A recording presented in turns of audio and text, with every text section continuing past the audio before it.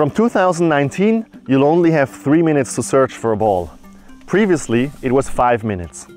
Please take a quick look at your watch before you start the search, as this will speed up the game considerably. When you're looking for your ball in high grass, you might accidentally tread on it and move it. You used to get a penalty for doing so, now there is no longer a penalty for this. The ball must be put back.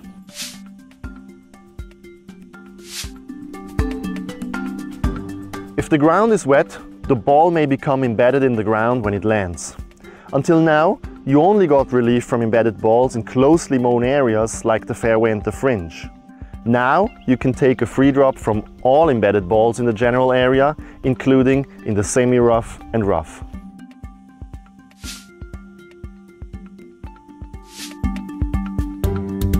Until now, the player could use any of his clubs to measure out club lengths. Now, a club length is defined as the player's longest club, except for his putter.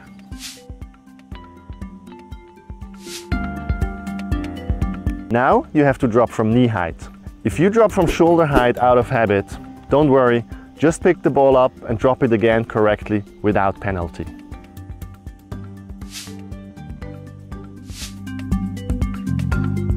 If the ball lands on the wrong green, you're not allowed to play it from there, as this would most likely damage the green. Previously, the player was allowed to take his stance on the wrong green, and the nearest point of relief was always on the fringe. Now, you're also not allowed to stand on the wrong green, meaning that the spot for dropping is usually a bit further away from the green.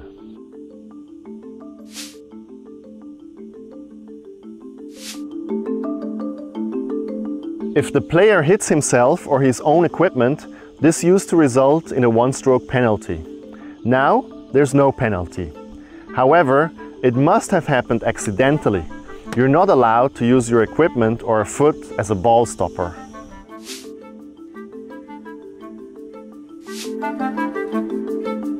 If your club gets stuck when you play a shot and you hit the ball more than once, now there's no penalty and the double hit just counts as one stroke.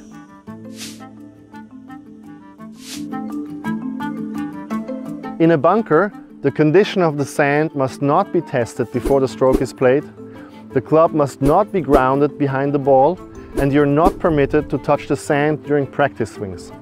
This is still the case from 2019. But the rules are more relaxed when it comes to touching the sand incidentally. For instance, marks can be smoothed out as long as they are not on the line of play and you're now also permitted to lean on a club, for example.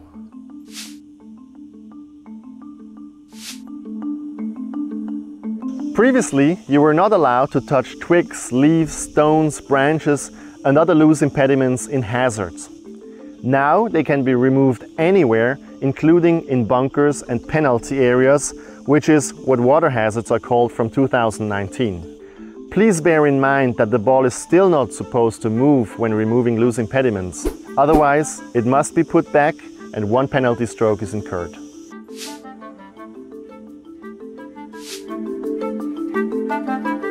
If you declare your ball unplayable in a bunker, you used to have three dropping options, each incurring one penalty stroke. The ball usually had to be dropped in the bunker unless you returned to the spot where you played your last stroke, whereby you lost the entire distance of that stroke. Now there's a fourth option available. You can drop the ball directly behind the bunker, but this will then cost you two penalty strokes instead of just one.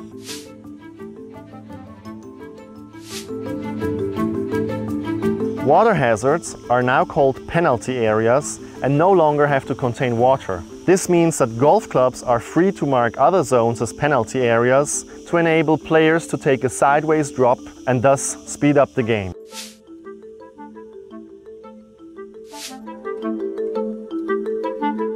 If you decide to play the ball from a penalty area, this is now significantly simpler because you're allowed to ground the club.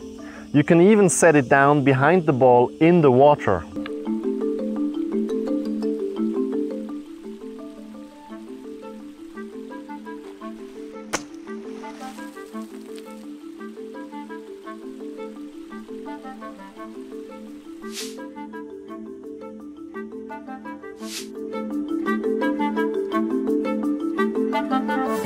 If you mark your ball on the green and then put it back, and it moves either by itself or by wind, it no longer has to be played from the new spot. It has to be put back again.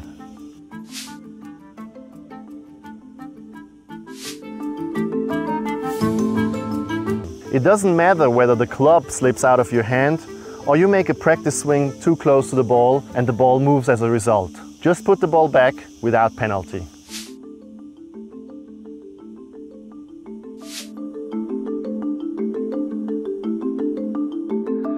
Until now, you weren't allowed to repair the line of putt, apart from a few exceptions such as pitch marks and old hole plugs. Now, nearly all damage on the green can be repaired, including spike marks. But this isn't free license to smooth out the entire line of putt, as natural imperfections are part of the game.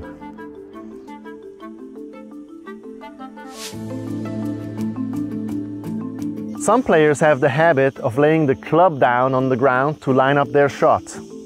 The new rules state that this is no longer allowed.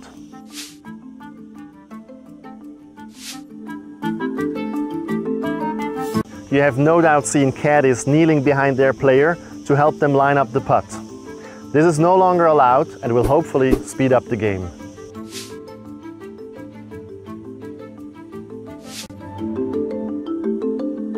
Hitting the flagstick is now without penalty, which means you can always leave the flag in the hole.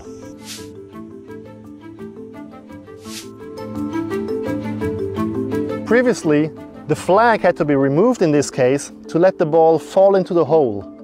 Now the ball is classed as having been holed if part of the ball is below the lip. This ball is therefore already holed and I can pick it up.